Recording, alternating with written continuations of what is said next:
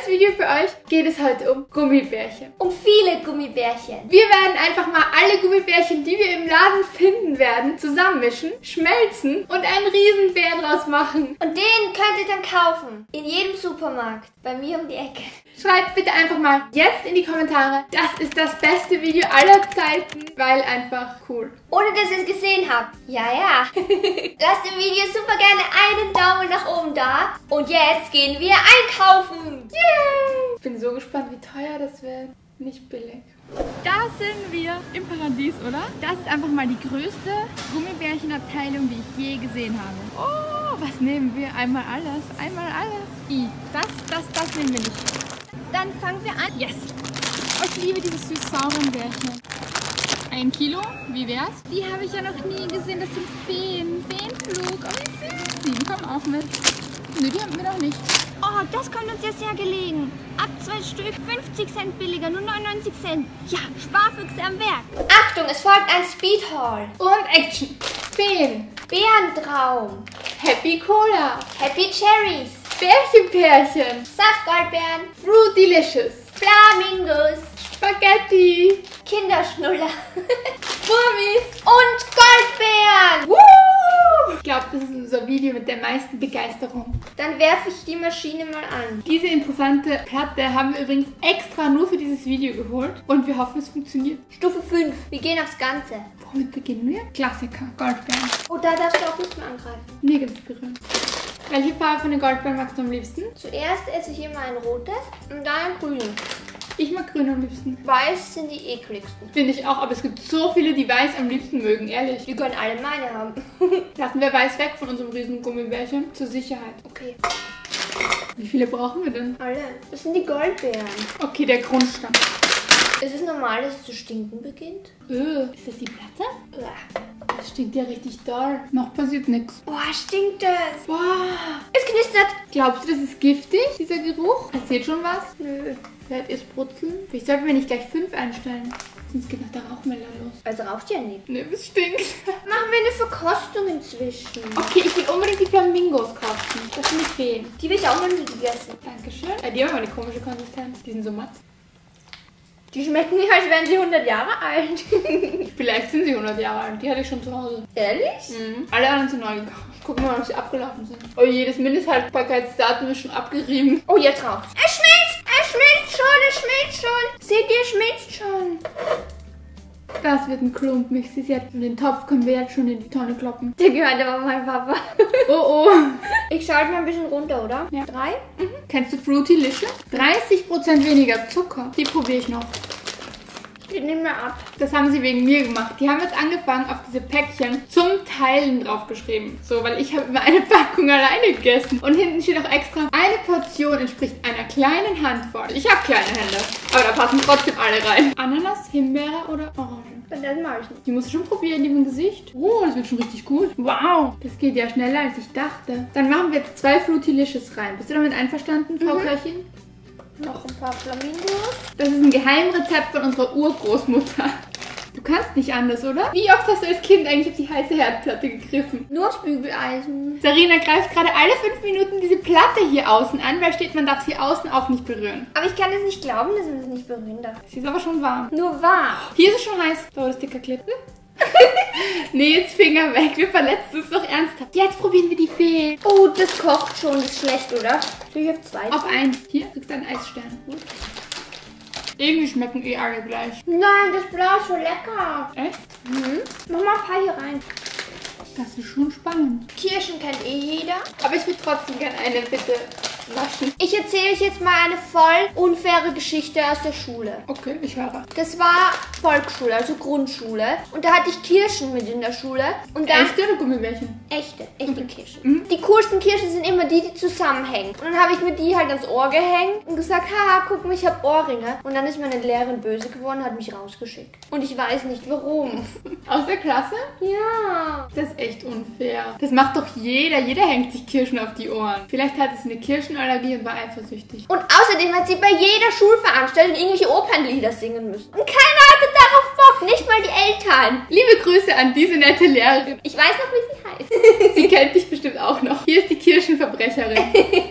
Jetzt ist übrigens der Zeitpunkt gekommen, an dem ihr mal alle eure Lieblings-Gummibärchensorte in die Kommentare schreibt. Guck mal, das wird voll gut. Vicky wollte vorher, bevor wir das Video gedreht haben, nochmal googeln, wie man Gummibärchen denn richtig schmeckt. Ich wollte nicht, dass dieses Video in die Hose geht. Das Video bedeutet mir sehr viel. Ich dachte, vielleicht muss man es vielleicht im Wasserbad machen, weil es im Topf anbrennt. Und natürlich lag mir auch der Topf von Serines Papa sehr am Herzen.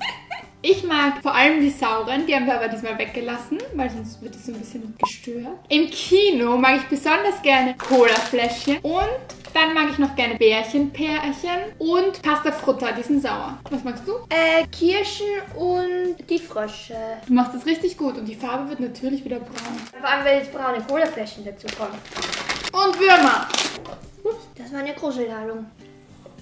Wollen wir mal zeigen, wo wir das dann reinfüllen? Das ist das Coolste an dem Ganzen. Wartet, ich hol's. Seid ihr bereit? Dum, dum, dum. Wir haben so einen Teddybär. Eigentlich ist es, glaube ich, die Kuchenbackform. Und wir machen da drin unseren Gummibär. Glaubst du, wir haben schon genug, Nene? Nein, noch lange nicht. Der ist groß. Man bringt auch jedem ein Stück Kuchen, wenn man einen gebacken hat. Wir bringen jedem ein Stück Gummibär. Betty Butterfly. Oh, das ist süß. Du unterbrichst hier meinen Vortrag. Ich war gerade bei Betty Butterfly. Die ist gelb und hat einen Schmetterling. Und Frosty Feeny. Sie ist blau und hat eine Schneeflocke. Oh, das ist so niedlich. Schmeckt blau wie diese Eiszucker. Hm. Mach mal die nächsten auf. Saftbeeren, schneller. Hm. Ehrlich gesagt will ich die Bärchenpärchen nicht hergeben. Das sind zu schade. Sei bitte nicht zu geizig. Was ist eigentlich einen Saftbeeren besser als einen normalen Beeren? Saftiger. Und wer mag die lieber? Magst du die lieber? Ich mag die nicht.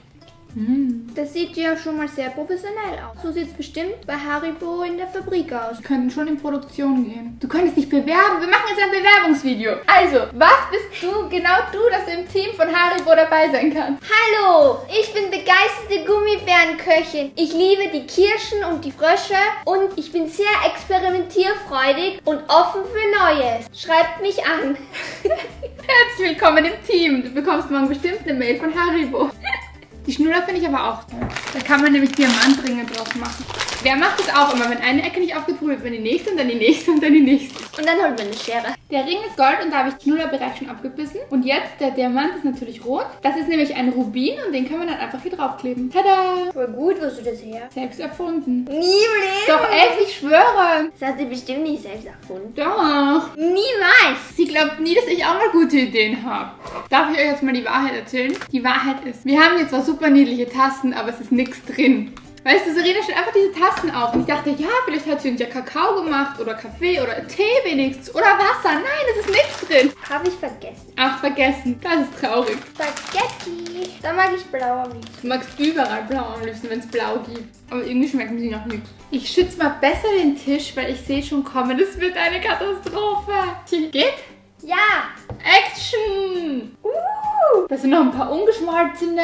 Siehst du das? Das ist dann wie in, in Muffin so Schokostückchen. Ja, voll gut. Ist es genug? Ja, da ist noch viel drin. Ich finde, die Farbe ist richtig gut geworden. Ich hatte schon Angst, dass es braun wird. Hey, wir haben nicht mal gekleckert. Richtig gut. Das ist so dickflüssig, damit kann man gar nicht kleckern. Und jetzt Deko. Das ist einfach so klebrig, wir kriegen das nie wieder los. Oh, ist voll warm. Das ist never ending. Einfach reinlegen. Ja, ich glaube, die Schnüre versauen es voll. Die werden dann bestimmt schon anfragen auf unseren Bären, ob sie den dann so nachproduzieren dürfen und verkaufen dürfen, weil der so cool ist. Ja. Zum Jubiläum dann. Das ist so cool. Ich will ihn probieren, ich kann gar nicht warten. Wie schwer ist der denn? Ja, schon ein guter 2 Kilo. Und der muss jetzt ins Gefrierfach.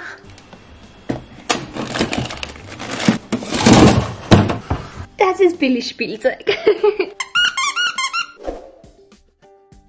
Wir haben das Bärchen aus dem Gefrierfach geholt. Es ist hart, es ist steinhart. Geht es raus? Oh mein Gott! Wie krass sieht das bitte aus? Ich kann es gar nicht glauben. Das ist voll süß. Hallo mein Freund, wir wollen dich jetzt probieren. Aber noch ist er tiefgefroren. Können wir den überhaupt schon essen? Wir müssen ihn anschneiden. Wir müssen noch ein Foto machen vorher. Weg mit dem Messer. Guck mal, wir müssen ihm einen Namen geben. Hubert. Ich glaube, das mit dem Schneiden wird schwierig. Er mal ein Ohr ab, doch nicht gleich den Kopf. Hier das Ohr. Nein, dann das Bein. Ja, oben ist er viel zu süß. Wir essen nur den Fuß. Der Kopf darf niemals gegessen werden. Das ist wie bei so einem Silvesterschweinchen. Oh nein, bitte schneid dir nicht in den Finger. Das geht nicht. Dann lecken wir dran. Oder wir warten, bis er auftaut. Lasst uns unbedingt einen Daumen nach oben da. Das Video hat mega viel Spaß gemacht. Hinterlasst auch gerne Vorschläge in den Kommentaren, was wir noch so alles austesten könnten. Bis zum nächsten Mal. Tschüss.